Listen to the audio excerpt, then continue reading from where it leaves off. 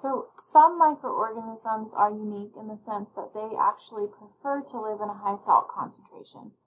Most microorganisms, if you put them in an environment where there is a high salt concentration, that creates a hypertonic environment for them that pulls the moisture out of their cells and they shrivel and die. The exception to the, that rule, though, are halophiles. Halophilic bacteria are bacteria that prefer to grow and live in a high salt concentration. This is common among bacteria in the Staphylococcus genus, such as Staphylococcus aureus. These bacteria do have special pumps built into their cell membrane that allows them to control how much um, moisture they lose from their cells, so they ideally do prefer a high salt concentration. This is the reason why most skin infections are caused by Staphylococcus. Our skin has a high salt concentration as a result of sweat, so any type of bacteria that would be able to survive and thrive on the skin must be a type of bacterium that is halophilic and prone to growing in high salt concentration. So for that reason, um, Staphylococcus is the leading bacterium um, in skin infections. Microorganisms will also um, form various relationships with other hosts, um, which they can be dependent on for survival. Some of these relationships are good, some are bad. Um, there's three different types of relationships that can exist. Um, mutualistic relationships, commensalistic relationships, and then a parasitic relationship. So in a mutualistic relationship, both parties benefit, meaning the microorganism um, benefits and the host that it is living within also benefits. So um, the best example of this is E. coli strain K12 that lives in our large intestine.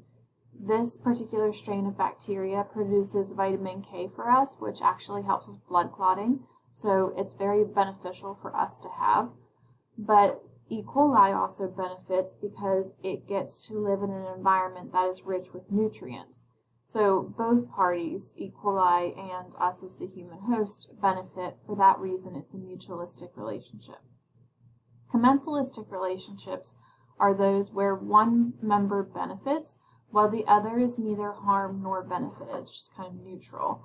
An example of this would be Staphylococcus epidermidis that lives on our skin.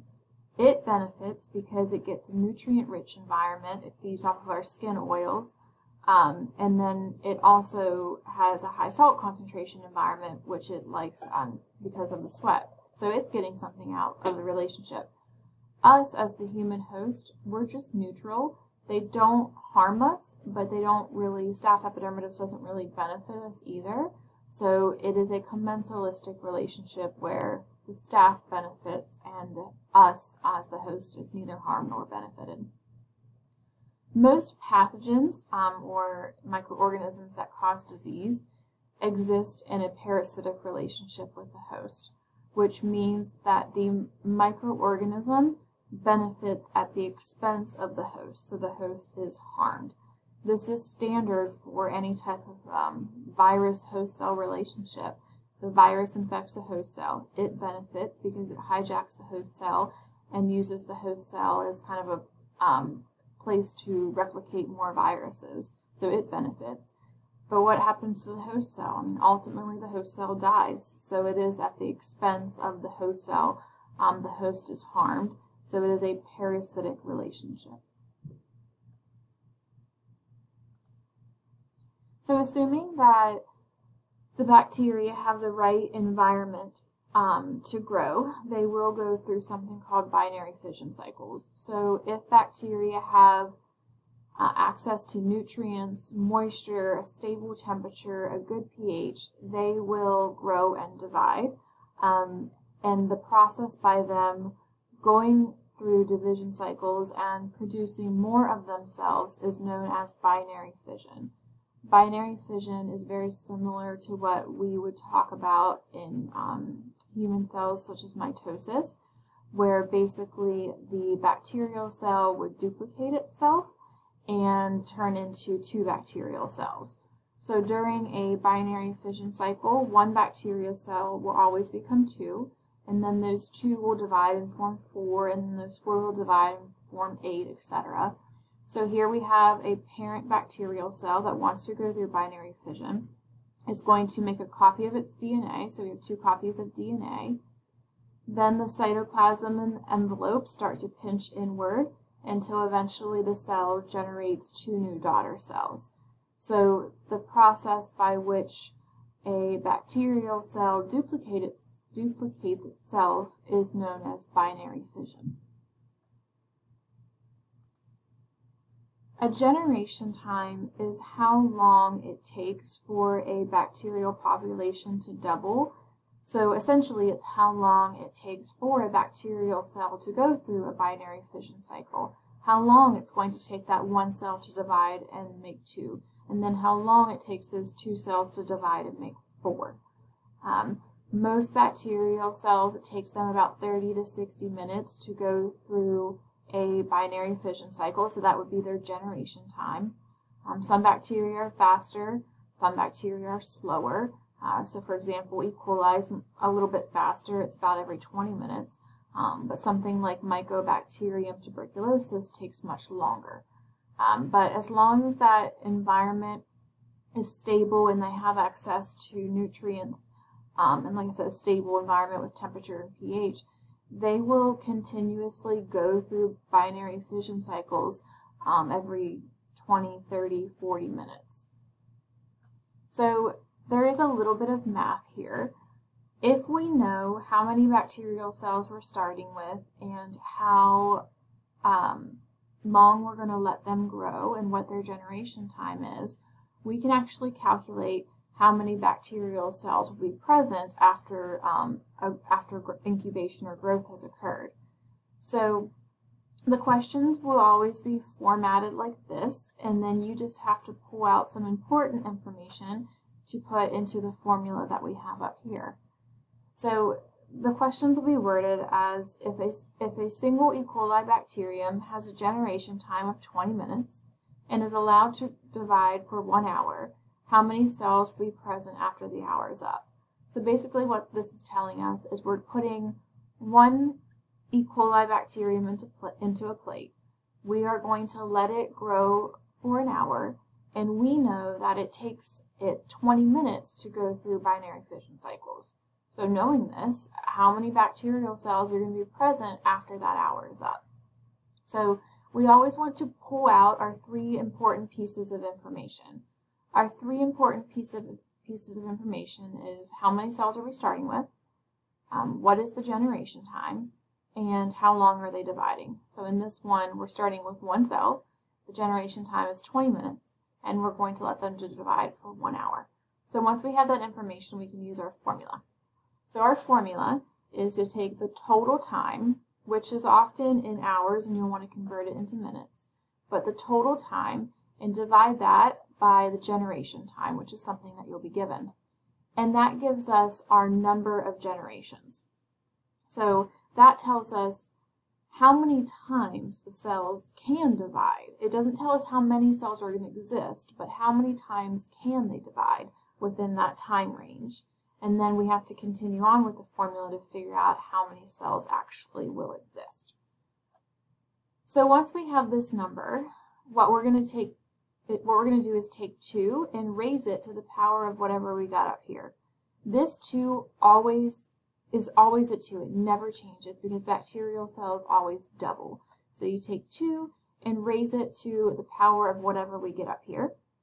And then the last step is to take that number and multiply it by the number of original cells, which is a number that you'll be given and that's going to give you how many cells will exist um, in total. So if we were doing that for this problem here, we would take the total time, which was 1 hour, 60 minutes. We'll divide it by the generation time, which was 20 minutes, and that's going to give us an answer of 3. So we know E. coli, if it takes 20 minutes to go through a binary fission cycle and we're giving it an hour to grow, it will be able to go through three cycles. But again, we want to know how many cells will actually be present after it goes through three cycles. So we take 2 and we raise it to the power of 3, because that's what we got up here. Remember the 2 always stays, but this number is going to change depending on what we get right here. So 2 to the third power is 8. We're not completely done yet.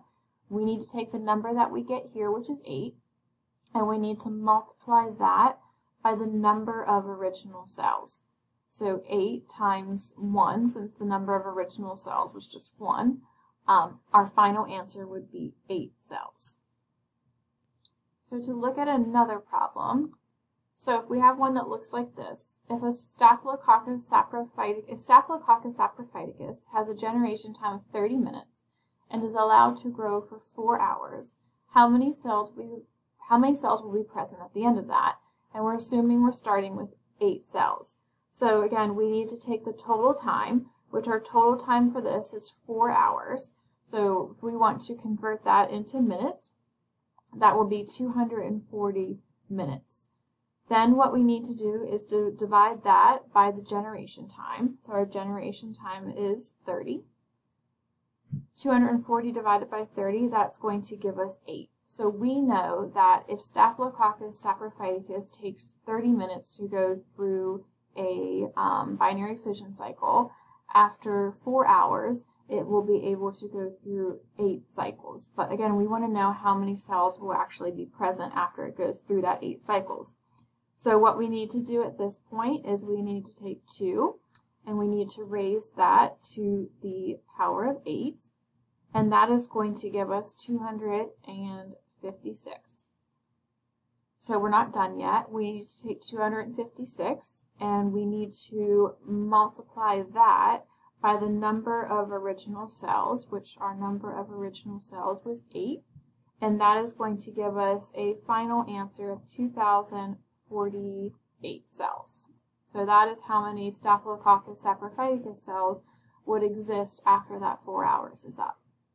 So if you do need more practice with this in D2L, um, in the microbial nutrition and growth op optional resources, there is a practice generation time Word document so you can click on that and it has several practice problems with the answers worked out so you can go through and get some more practice with um, generation times. So the next thing that we're going to talk about is a standard bacterial growth curve. So with bacteria in the environment, um, they have unlimited access to nutrients, so they will essentially grow and grow for extended periods of time. But in a petri dish, there's only so much nutrients. So in a petri dish, they go through different phases. And we look at that growth over a period of time as the standard bacterial growth curve. So this is looking at the number of bacterial cells over a period of time. There's four different phases, lag, what we're calling as a log phase, but sometimes you will see it as exponential, but in this course, log phase um, stationary and death phase. But we can kind of see over a period of time, the bacterial cells grow rapidly, then they kind of level off, and then they start to die rapidly um, when they're within a petri dish. So we are going to take a look at these four different phases and what happens during each of them.